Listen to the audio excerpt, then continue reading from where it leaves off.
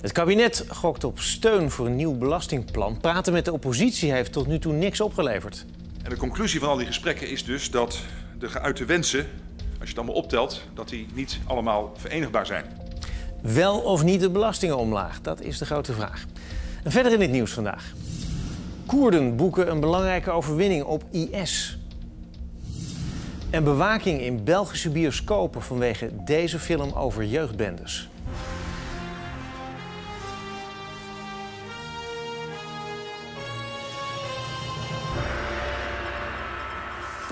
Goedenavond. Er ligt 5 miljard klaar om de belastingen te verlagen. Maar het kabinet heeft er geen akkoord over kunnen bereiken met de oppositiepartijen. Want die wilden allemaal iets anders. En die oppositie is nodig omdat het kabinet geen meerderheid heeft in de Eerste Kamer. Wekenlang werd er onderhandeld, maar zonder resultaat. En de conclusie van al die gesprekken is dus dat de geuite wensen, als je het allemaal optelt, dat die niet allemaal verenigbaar zijn. Soms gaan ze te veel ten koste van de werkgelegenheid en zijn om die reden onwenselijk. Uh, en je kunt dus eigenlijk zeggen dat het uiteindelijk niet lukt om nu in deze fase al met de oppositie te komen tot een gezamenlijk pakket dat op voorhand kan rekenen op voldoende steun in beide kamers. Het kabinet gaat het plan op een aantal punten nu aanpassen en hoopt het er alsnog door te krijgen. Laten we eerst eens kijken hoe het hele plan eruit ziet. Mensen die werken gaan minder belasting betalen. Vooral midden- en hoge inkomens profiteren. Ze houden meer geld over, gemiddeld 800 euro per huishouden per jaar. Vooral werkende mensen met jonge kinderen gaan erop vooruit. Er komt een hogere toeslag voor kinderopvang. Het wordt makkelijker om werk te combineren met zorg voor kinderen. De kinderbijslag gaat omhoog. Voor werkgevers dalen de loonkosten en daardoor wordt het goedkoper om mensen in dienst te hebben. Volgens staatssecretaris Wiebes zorgen de maatregelen ervoor dat mensen meer gaan uitgeven en bedrijven meer gaan investeren. Dat is goed voor de economie, die gaat extra groeien. Uiteindelijk zouden er op wat langere termijn 35.000 banen bijkomen. Ja, Ron in Den Haag voor elk wat wils in dit kabinetsplan, maar blijkbaar toch niet goed genoeg. Nee, op zich is er brede steun eh, in de politiek voor die lastenverlichting. 5 miljard extra geld in de portemonnee. Wie is daar tegen zou je zeggen. Maar veel partijen hadden veel aanvullende wensen. Bijvoorbeeld om extra dingen te doen voor eenverdieners. En het kabinet heeft vandaag gezegd, ja, al die wensen bij elkaar, daar kunnen we niet één mooi stuk chocola van maken. Ja, en nu? Uh, nu is het plan aangepast. Uh, er zijn uh, dingen ingestopt waarvan het kabinet hoopt, nou dat moet toch bepaalde partijen verleiden om daarmee akkoord te gaan. Rutte noemde die aanpassingen ook. En we hebben er voor het gemak de partijen bijgezet die, die met die voorstellen dan probeert te paaien. Kinderbijslag en ook de kinderopvangtoeslag die wordt verhoogd. Er komt voor elk van deze regelingen 100 miljoen extra beschikbaar. De lasten voor ouderen worden met structureel 100 miljoen euro verlaagd. De ondersteuning voor ouders met een gehandicapt kind wordt fors verhoogd. Er wordt geschoven tussen de energiebelastingen op gas en elektriciteit. De bedoeling daarvan is dat dat per saldo leidt tot minder uitstoot van CO2. En je ziet het in dit rijtje zit dus niet dat extra voor de eenverdieners waar steeds eh, over gediscussieerd is de afgelopen weken. En dus kan je nu al zeggen, dat hebben we ook net gehoord, dat ChristenUnie en SGP allebei zeggen wij gaan dit plan niet steunen. Nee, en dat plan dat komt straks toch aan het einde van het jaar in de Eerste Kamer. Loopt het kabinet niet een enorm risico? Ja, ze lopen zeker een risico, want ze presenteren nu dus wat zij zeggen het definitieve plan, zonder dat ze uitzicht hebben op het feit dat er ook een meerderheid voor is. Grote vraag is, wat doet het CDA en met name D66? Het CDA heeft eigenlijk al laten weten, ook net aan ons, wij vinden dit een goed plan, wij gaan voorstemmen. En dus ligt de sleutel bij D66, maar die eh, partij vindt dit plan nog te mager. De bal ligt eh, bij het kabinet en eh, wij zijn altijd bereid om te praten als die plannen ook echt tot meer werk leiden en tot minder vervuiling. Maar ik hoor u nee zeggen. Nee, omdat er nog drie dagen zijn en ik uh, dus in die zin tegen het kabinet zeg, ja, als jullie uh, nog iets aan die plannen willen doen, wat echt leidt tot meer banen, tot minder vervuiling, is D66 daartoe bereid. Ja, dus uh, D66 houdt de spanning erin en het blijft spannend. Je weet het, we hadden het van de week over die chicken game. Hè? Uh, auto's die met hoge snelheid richting de afgrond gaan. Ja. We hebben nu twee auto's in de race, kan je zeggen. Eentje met het kabinet erin, waarbij ook het CDA in de auto is gestapt. En die andere auto die wordt bestuurd door D66. En ze gaan met hoge snelheid richting de afgrond. En de vraag is, wie gaat er nog remmen? Gaat Pechtold bijvoorbeeld nog op tijd remmen en zegt hij, ik wil onderhandelen. We hebben nog een paar dagen te gaan, maar het blijft dus heel erg spannend. Goed, dankjewel Ron. Ja, en dan de strijd van al die coalities in Syrië en Irak tegen IS. Begint die nou vruchten af te werpen? Vaststaat dat IS vandaag een flinke slag is toegebracht... met het verlies van de strategisch gelegen stad Sinjar. Die stad ligt tussen twee andere steden die in handen zijn van IS... Raqqa in Syrië en Mosul in Irak. En daarmee is nu een belangrijke doorvoerroute afgesneden. De inname van Sinjar was vanochtend rechtstreeks te volgen op de Koerdische tv.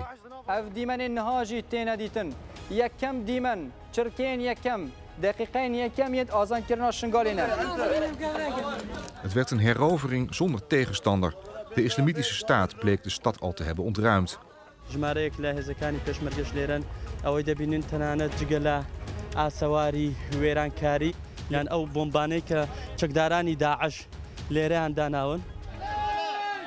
De herovering was goed voorbereid en werd groots gevierd. President Barzani gaf een persconferentie met uitzicht op de bevrijde stad.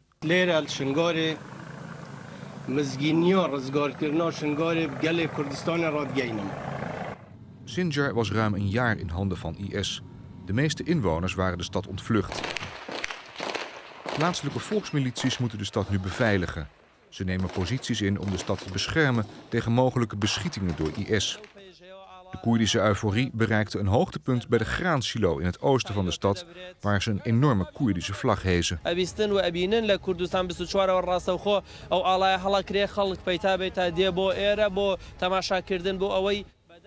Midden-Oosten-correspondent Sander van Hoorn in Libanon. Groot feest dus, Sander, bij de Koerden. Maar betekent het nou dat IS een wezenlijke slag is toegebracht? Ja, toch wel, want het ligt zo strategisch, hè, dat Sint-Jar. Je zei het net zelf al, tussen die twee plaatsen.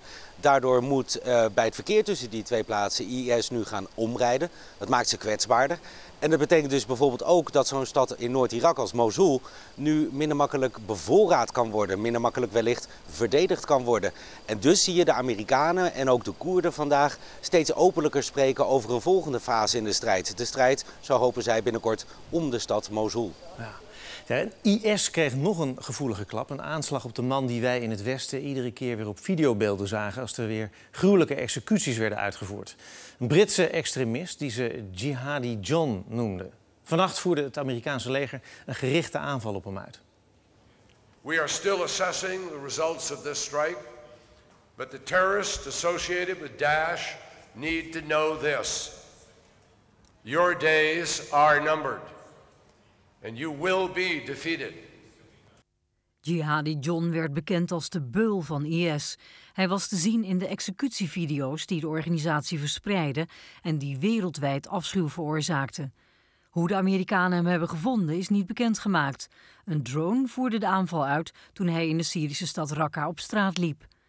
Echt belangrijk was Mwazi waarschijnlijk niet meer voor IS. Zijn dood heeft dan ook vooral symbolische waarde. And he was intent on murdering many more people. So this was an act of self-defense.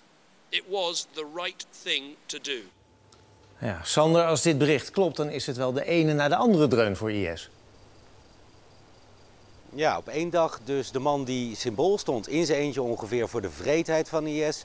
Dus waarschijnlijk uitgeschakeld. Sint-Jar zijn ze kwijt, dat strategische uh, stadje waar we het over hadden. En dat dan ook nog zonder echt al te veel verzet. Daar waar iedereen dat wel verwachtte. Dus dat uh, imago wat IS van zichzelf probeerde op te bouwen van uh, onoverwinnelijkheid, van onvermijdelijkheid haast. Nou, dat imago, dat heeft vandaag dus wel een paar deuken opgelopen. Ja, maar toch, juist bij jou in Libanon heeft IS een zware aanslag gepleegd.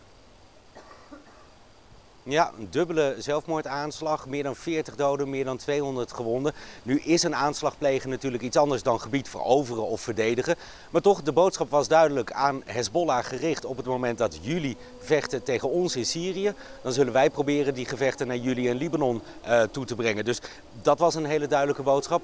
En wat IS ook probeert, is een gunstige voedingsbodem voor zichzelf te creëren hier in Libanon. Eentje van chaos en verdeeldheid tussen bevolkingsgroepen. Nou ja, en vandaag op de plek van die dubbele aanslag zag je dat de politici in elk geval proberen die verdeeldheid tegen te gaan.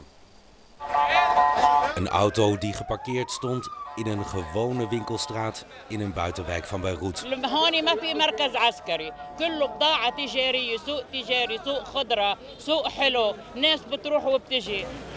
Na eerdere aanslagen kwam er meer controle door het leger. Toch komt een nieuwe aanslag voor niemand echt als een verrassing. سبب لأنه حقد وكفر لأنهم انهزموا في سوريا. أرادوا أن ينتقموا من الشعب اللبناني البريء العزل Puinruimen, het bloed wegspoelen, de doden begraven. هيدا ابنها لبنت عمتي. طلع الانفجار أول واحد هو دفاع مدني. ظهر اجى بده يشيل يسعف الجرحى والشهداء. طلع انفجار الثاني. استشهد.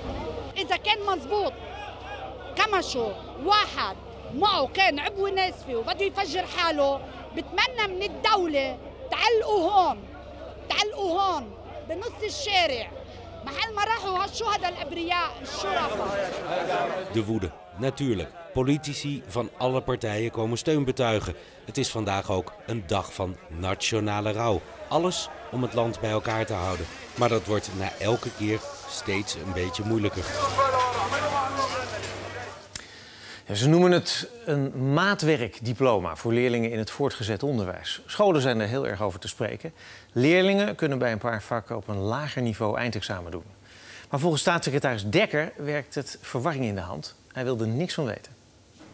Bijna alle leerlingen van deze VMBO-school volgen wel een vak op een lager of hoger niveau. Ik volg uh, Engels op een hoger niveau, op TL-niveau. Voor de rest doe ik uh, alle vakken op kader. Biologie. Uh, biologie. Ik vind het eigenlijk wel handig voor mezelf. Want ik doe toch zorg, dus dan is het best wel handig als je biologie ook erbij hebt. Dus ook best wel belangrijk. Het belangrijkste is dat het nu heel veel doet met hun motivatie, met hun zelfvertrouwen, met hun, ja, met hun resultaten. Maar het staat na het eindexamen niet op het diploma. Iets wat als het aan de scholen ligt verandert. Zij willen een algemeen voortgezet onderwijsdiploma. Waarop staat dat een leerling bijvoorbeeld sommige vakken op HAVO-niveau beheerst, andere alleen op VMBO, maar ook een aantal op VWO. Nou, één heel duidelijk voordeel is, uh, je hebt leerlingen die niet in alle vakken even goed zijn. En als die verschillen heel groot zijn, dan word je nu heel erg afgerekend op het vak waar je niet goed in bent. Want dat houdt je eigenlijk heel erg tegen. En als je een vak uh, uh, hebt waar je wel heel goed in bent, dan kan je dat eigenlijk op dit moment niet volgen op het niveau waar je heel goed in bent. En dat kan met een maatwerkdiploma wel. Toch ziet de staatssecretaris zo'n maatwerkdiploma niet zitten. Dat werkt volgens hem vooral verwarrend. De examens zijn belangrijk om uiteindelijk de kwaliteit van ons onderwijs in Nederland te borgen. Als een leerling een HAVO-diploma heeft, dan weet je ook echt waar het voor staat. Maar als je straks ook een HAVO-diploma kan halen met een aantal vakken op een lager niveau, ja, dan weet niemand meer wat dat papiertje nou precies inhoudt. En dat is wel belangrijk als je vervolgens naar het vervolgonderwijs gaat. Zo'n maatwerkdiploma komt er dus niet. Al hoopt Dekker wel dat scholenleerlingen blijven stimuleren om vakken op een hoger niveau te volgen als ze dat aankunnen. Thuiszorgorganisatie TSN moet de aangekondigde loonsverlaging van 4300 medewerkers terugdraaien. De lonen zouden met 20 tot 30 procent omlaag gaan. Werknemers waren het er niet mee eens en stapten samen met de FNV naar de rechter. En die geeft ze dus gelijk. In Wallenfels in Beieren zijn in een woning de stoffelijke resten gevonden van acht baby's. In dit huis woonde een vrouw van 45 met haar man en kinderen. De politie is op zoek naar ze. Mogelijk is die vrouw de moeder van de dode baby's. Het is nog niet duidelijk hoe en wanneer de baby's zijn overleden. In Thailand zijn 14 orang-oetangs gered. De apen leefden daar jarenlang in gevangenschap om verkocht te worden aan dierentuinen. Nu gaan ze terug naar de oerwouden van Indonesië, waar ze geboren zijn. Frankrijk voert sinds vandaag weer grenscontroles uit. Iedereen die naar Frankrijk reist moet zijn paspoort of identiteitsbewijs kunnen laten zien. Aanleiding is een terreurdreiging. In een aantal videoboodschappen wordt opgeroepen om aanslagen te plegen tijdens de internationale klimaattop. Die begint eind deze maand in Parijs. En op die milieutop gaan ze het hebben over de reductie van CO2. Kolencentrales in Nederland spelen daarbij ook een belangrijke rol. Ze krijgen miljarden subsidies om houtafval te kopen en dat naast kolen erbij te stoken. Dat is afgesproken in het energieakkoord. Maar volgens Greenpeace en Eneco is dat weggegooid geld. Dat kun je beter besteden aan windmolens of zonnepanelen, vinden ze. De kolencentrales, zeggen ze, die moeten eigenlijk gewoon dicht. Op de Maasvlakte staan twee kolencentrales van het bedrijf E.ON. Deze oude uit de jaren 90 en een nieuwe die pas af is en nu even stil ligt voor onderhoud. Dit is de modernste kolencentrale in de wereld met de hoogste efficiëntie en enorm flexibel. Naast kolen gaat hij ook gesubsidieerde biomassa verstoken. Dat zijn deze gecertificeerde houtkorrels die beter zijn voor het milieu. Om dat duurdere houtafval te kopen krijgen de centrales de komende jaren dus 3 tot 4 miljard euro subsidie uit het energieakkoord. De onderhandelaars namens de milieuorganisaties die inmiddels bij Eneco werkt, heeft daar nu spijt van. Destijds dachten we dat het de goedkoopste vorm van duurzame energie zou zijn. Nu, twee jaar later, blijkt dat het de duurste vorm van e- duurzame energie is. Nog duurder dan wind op zee.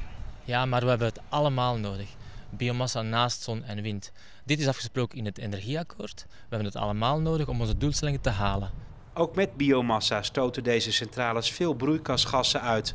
Steeds meer partijen dringen aan op sluiting van alle centrales. Dat kan. Het planbureau van de overheid, ECN, heeft vorige week uh, voorgerekend dat het sluiten van kolencentrales prima mogelijk is. We hebben voldoende capaciteit om stroom mee op te wekken in Nederland. En de sluiten van kolencentrales zorgt maar voor een stijging van de energieprijzen met 88 cent per huishouden per maand. Dus dat is verwaarloosbaar. De komende anderhalf jaar gaan er vijf oude kolencentrales in Nederland dicht, waaronder deze van E.ON op de Maasvlakte. En de druk op de sector neemt toe om ook de nieuwe te sluiten, zoals deze. Maar die energiebedrijven met kolencentrales zullen zich niet zomaar gewonnen geven. Ze zijn ervan overtuigd dat deze techniek nog decennia nodig is.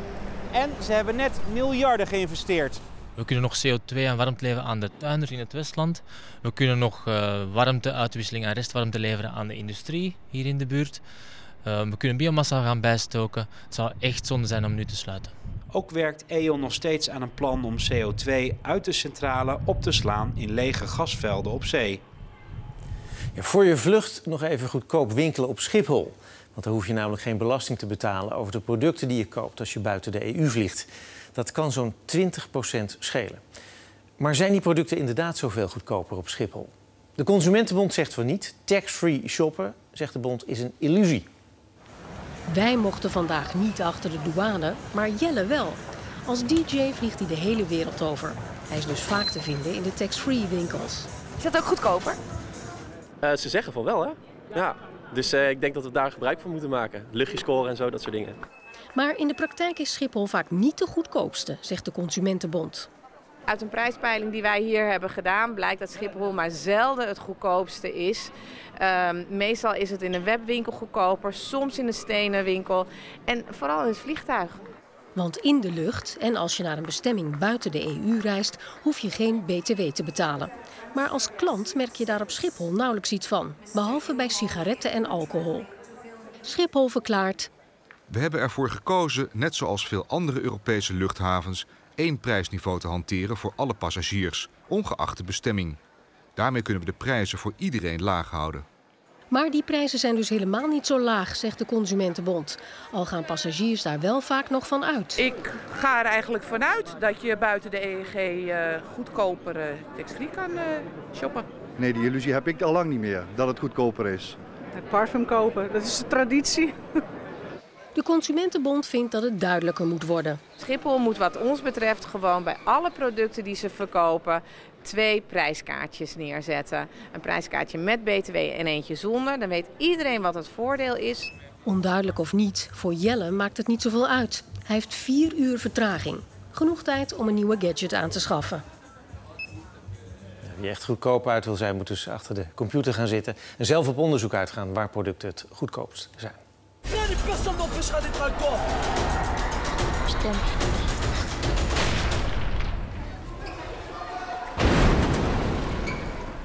Ja, dat was de Belgische film Black. Razend populair in België. Een film die gaat over jeugdbendes in Brussel. Dat is een echt probleem in de stad. Er zijn zeker 16 van die bendes actief. Maar de film heeft al tot relletjes geleid. En bioscopen zijn bang dat het vaker gaat gebeuren. Een film over jeugdbendes trekt veel jeugd, maar in Brussel ook beveiligers en zelfs politie naar de zalen waar die draait. Ik wil gewoon kijken wat, wat, hoe, hij ons, uh, hoe, hij, hoe hij de straat eigenlijk in de bioscoop laat schijnen. Il dit la, la réalité. Vraiment Oui. Ce qui se passe en Belgique en fait. Black gaat over een Congolees meisje en een Marokkaanse jongen. Een soort Romeo en Julia. Ze worden verliefd, maar horen bij verschillende bendes. En dus ontstaat er een keiharde bendeoorlog. Dat het niet alleen maar film is, weten ze hier in Matonge, de Congolese wijk van Brussel. Een stadswijk met problemen, drugs, berovingen, prostitutie. De film is gebaseerd op bendes die hier actief zijn. Een onderschat probleem vindt politica Asita Kanko. Ik hoor hier van uh, verkopers dat de politie weinig doet. Maar ik hoor van agenten ook dat het in dit wijk wel iets gebeurt. Dus ik, ik denk wel dat de agenten ook meer middelen nodig hebben om hun werk te kunnen doen en meer steun nodig hebben. Er zijn jeugdbendes in Brussel. Ik vind dat dat wel belangrijk was om dat ook te tonen. Bende is een criminele organisatie die op het begin wel heel cool lijkt voor jongeren. Maar eens dat ze erin zijn, zoals een, zoals een maffia met het Omerta-systeem, ze kunnen er niet uit geraken. Voor veel bezoekers is de film herkenbaar mokro's tegen zwarten die vechten om meisjes of om jongens. Ik heb het al duizend keer gezien. De dag van vandaag is dat nog steeds zo. Ik ben een zwart, ik verkeer met een Marokkaans meisje. Die probleem heb ik ook zelf, snap je? En voilà, dat is dagelijkse kost bij ons dus. We willen de mensen ook natuurlijk niet bang maken. Je kunt nog altijd rustig in Matonge lopen, je kunt rustig in Brussel gaan. Ik bedoel, het is een film. Die, die acteurs spelen een rol, maar het is wel op waar, waar gebeurde feiten gebaseerd. Ja, Black draait in België in 34 zalen. Mogelijk komt hij ook naar Nederland. de glans die het ooit had, was er al een tijdje af. IJshal Tialf, waar ooit de allersnelste tijden werden gereden. Negen maanden lang werd Tialf grondig verbouwd.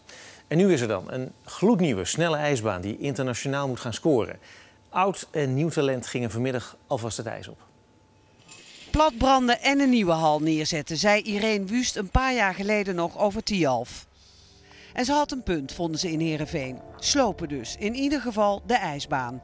Want de Friese trots had zijn langste tijd gehad. De boel was hopeloos verouderd. Tialf is een half jaar dicht geweest en nu ligt er een splinternieuwe ijsvloer met ijsinstallatie. Het is een spel, het is uh,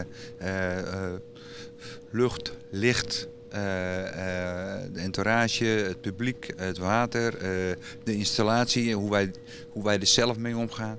Dat is een puzzeltje die in elkaar moet passen en zo kan je heel goed ijs krijgen. Rientje Ritsma, Falco Zandstra en Hilbert van der Duim stonden vanmiddag aan de start om het eerste rondje te rijden op het nieuwe ijs. Samen met de jonge generatie schaatsers beten ze het spits af. De eerste indruk is goed. Het ijs is vlak, glad. Ja, geweldig. Ja, heerlijke baan. Ook als, uh, als ex-schaatser ben je altijd wel benieuwd naar het ijs. En dat voelt gewoon uh, heel goed aan. Het ijs glijdt goed, uh, de lucht voelt goed, want dat is ook belangrijk. Grote vraag is nu of het magische Tialf-ijs weer gaat doen wat het moet doen. Blijft Tialf de derde snelste ijsbaan ter wereld? In Heerenveen is geen spoortje van twijfel. Tuurlijk, daar gaan we voor, toch? Ja. Het weer, Willemijn. Ja, wat wordt er dit weekend? Morgen is een belangrijke dag, hè? Morgen zeker een belangrijke dag. Ook dan kunnen we af en toe wat regenbogen fotograferen. Trekken er namelijk ook wat buien over. Ja, zondag zit er veel bewolking en regen in de verwachting. Ja, die buien vandaag die hoorden bij een buienlijn die overtrok en leverden prachtige plaatjes op. Hele felle regenbogen, grote druppels in de atmosfeer. Dan krijg je van die smalle regenboogjes die heel fel oplichten. Hier zelfs een bijboog met de kleuren eigenlijk tegenovergesteld aan de hoofdboog. En daartussenin een hele donkere band. Misschien ziet u het thuis ook wel. En dat heet de band van Alexander, genoemd naar een Griekse filosoof. En dan die buien dus. Die hoorden bij een uh, trog die overtrok van west naar links over het land, of west naar oost over het land en ging behoorlijk snel. Hierachter is het wat droog geworden, maar hier ziet u allemaal blauwe pitjes. En dat betekent dat vooral de het noorden van het land daar de komende uren nog steeds mee te maken heeft. Waar wij ook mee te maken krijgen dit weekend, dit hele weekend, is met deze blauwe, blauwe plek daar. En hebben we vooral in de nacht van zaterdag op zondag mee te maken. Maar morgen begint het al een beetje. Kunnen we hier zien. Eerst verkeren we een beetje onder invloed van het hoge drukgebied. En dan komt die blauwe zon er dus langzamerhand naderbij. En ja, daar zit gewoon behoorlijk wat regen op. Op dit moment trekken er dus nog steeds wat buien over het land. Dat kon u net zien, vooral in het noorden van het land. Soms zitten daar ook zware windstoten bij, tot een 80, 90 km per uur. En in een enkel geval ook een klap onweer. Landinwaarts koelt het af tot een graad of 6.